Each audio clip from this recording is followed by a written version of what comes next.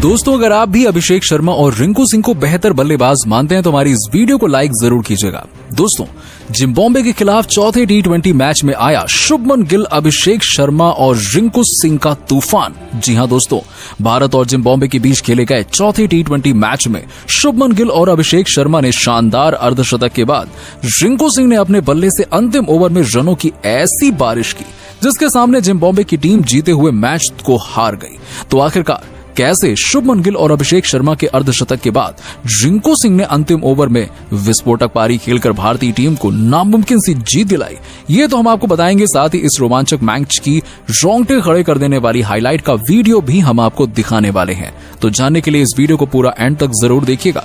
लेकिन उससे पहले आपको क्या लगता है कि शुभमन गिल, अभिषेक शर्मा और रिंकू सिंह में कौन है भारतीय टीम का सबसे खतरनाक टी ट्वेंटी बल्लेबाज? अपनी राय हमें नीचे कमेंट बॉक्स में ज़रूर दीजिएगा। दोस्तों जैसा कि आपको पता है कि भारत और जिम्बाब्वे के बीच पाँच मैचों की टी ट्वेंटी सीरीज़ खेली जा रही है, जिसके तीन मैच समाप्त हो चुके हैं। इस बीच आज भारत और जिम्बाब्वे के बीच चौथा टी ट्वेंटी मैच खेला गया। इस मैच में भारतीय टीम के कप्तान Shubman Gill T twenty match में टॉस जीतकर पहले गेंदबाजी करने का फैसला करते हैं और बल्लेबाजी के लिए जिम्बाब्वे की टीम को आमंत्रित करते हैं। इस बीच जिम्बाब्वे की टीम की तरफ़ से ओपनिंग करने के लिए सबसे पहले मेधे वेरे और मारू मणि आते हैं। जहाँ पर दोनों बल्लेबाजों ने मिलकर बेहतरीन बल्लेबाजी करते हुए टीम को आगे ले जाने का काम किया। इसी बीच गेंदबाजी की शुरुआत करने आए मुकेश कुमार ने आते ही पहले ओवर में ही मध्य वेरे को मात्र दो रन के स्कोर पर विकेट कीपर के हाथों कैच आउट करा दिया। इसके बाद बल्लेबाजी करने आए ब्रायन बेनेट जिन्होंने जिम्बाब्वे की टीम को संभालने का कार्य किया। इस बीच दोनों ने टीम को आगे ले जाते हुए पावर प्ले की समाप्ति तक पैंसठ रन एक विकेट पर बनाए। इस बीच दोनों बल्लेबाज टीम को आगे ले जाते हुए दिखाई दे रहे थे। लेकिन इस बीच गेंदबाजी करने के लिए आए नौवे ओवर में रवि बिश्नोई ने मारू मणि को मात्र पैंतीस के स्कोर पर एलबीडब्ल्यू आउट करते हुए पवेलियन को रवाना कर दिया, जिसके बाद अब बल्लेबाजी करने के लिए कप्तान सिकंदर राजा मैदान पर आए, जिन्होंने ब्रायन बैनेट के साथ मिलकर टीम को संभाल लिया। इस बीच ब्रायन बैनेट ने 12 ओवर के अंदर अपना अर्धशतक छक्का लगाने के साथ पूरा किया। हालाँकि वो इतने से भी नहीं माने, बल्कि उन्होंने और भी ज़्यादा तूफानी बल्लेबाजी करते हुए सभी को प्रभावित किया। इस बीच कप्तान सिकंदर रजा भी अब अपने अर्धशतक के करीब पहुँचते हुए दिखाई दिए। लेकिन इस बीच कप्तान सिकंदर रजा के करीब पहुँच रहे थे तो ब्रायन बेनेट भी अपने शतक के करीब पहुँच रहे थे। लेकिन इस बीच गेंदबाजी करने के लिए आए वॉशिंगटन सुंदर ने सिकंदर रजा के सामने छक्का खाने के बाद उनका विकेट भी इसी ओवर में ले लिया, जहाँ पर कप्तान सिकंदर रजा को 55 रन के स्कोर पर सत्रहवें ओवर के अंदर वॉशिंगटन सुंदर ने क्लीन बोल्ड कर दिया, जिसके बाद बल्लेबाजी करने के लिए आए मायर्स मैदान पर।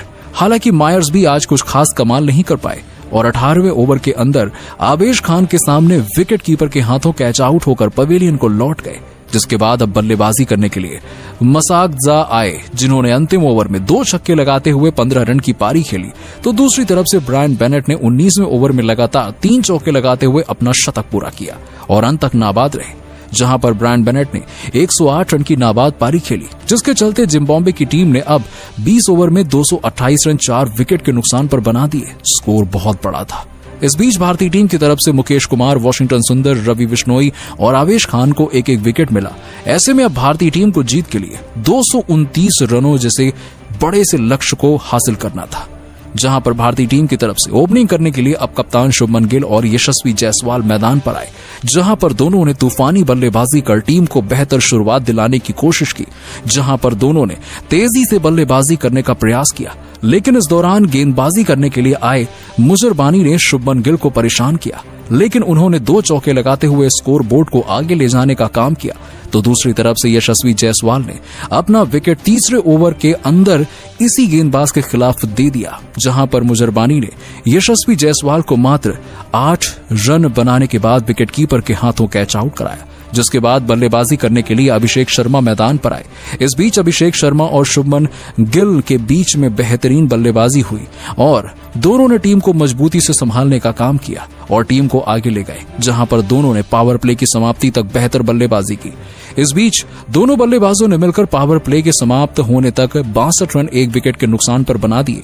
हालाँकि भारतीय टीम अभी तक पीछे चल रही थी, लेकिन दोनों बल्लेबाज शानदार प्रदर्शन करते हैं, जहाँ पर अभिषेक शर्मा ने तेज़ी से स्कोर बोर्ड को आगे ले जाने का काम किया।